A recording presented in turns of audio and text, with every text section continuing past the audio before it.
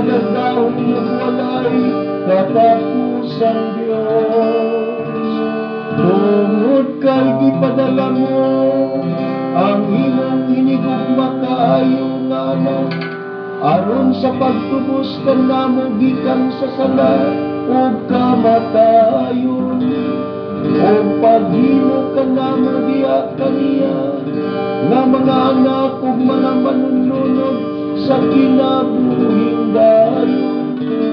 aron sa pagbalik niya diha sa dahon o dakong kadaugan sa paghukom sa kalibutan.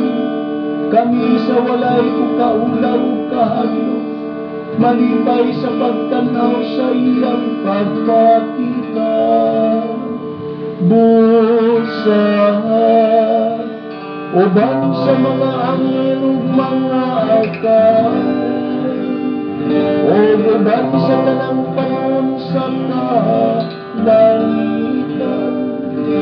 Tayong kami magamantala sa imong himaya nga sa hangtod magadayog kanimo o magapin ay na nagbantay sa pinabuhi sa tao.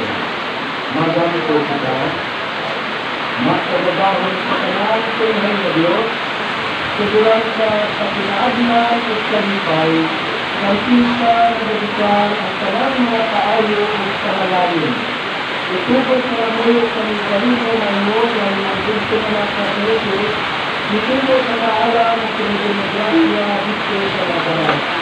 Sa mausap na paagi, pinili na natin sa nagkatayo, sila lang na kauhan matulog ka, di lamang sa kapulong, hindi isa sa natulog na kaalam ng grasya, na matulang lamang pinaagi sa pagdugma o sa kalagad kanino, o sa pagtuman sa kanilang inunahan na pagdugma.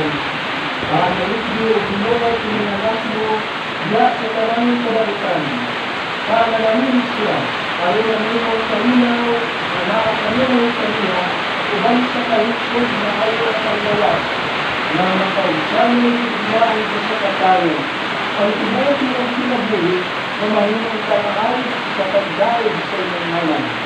Inaman kita kayo, tinawag ng Kristo, na aming Ginoo. Amen. Malalangin kami ang Diyos na nakagagawan sa balan, ang Amahan, ang Anak at ang Balaang Espiritu. Amen. Amen. Ito kami sa mga Pilipinas. Amen.